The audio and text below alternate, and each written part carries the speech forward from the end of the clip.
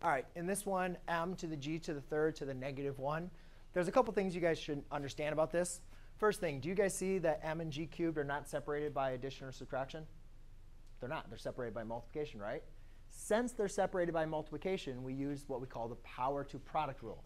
That means I can distribute my power to both of my terms. Please understand, though, if this was, if they were separated by this, you couldn't do that. No. Everybody wants to do that when they're separated by addition or subtraction. You cannot distribute a power when something's distributed separated by addition or subtraction. Okay?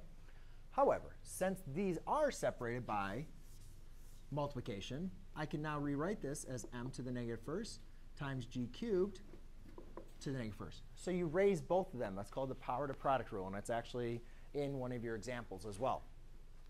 Now we just need to understand or remind ourselves what happens when we have a negative power. Well, if in one of those examples, x to the negative m is equal to 1 over x to the m. Or if you had 1 over x to the negative m, that equals x to the m.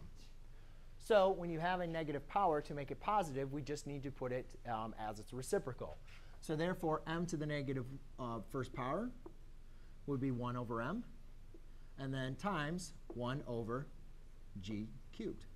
Because what's 3 times, because, or I didn't go with this. This would be the power product rule, um, or the power rule. When you have an exponent raised to another power, you multiply them. So that becomes negative 3. So you'd have to put that into denominator. And then therefore, you could just rewrite this like that. And that would be your final answer.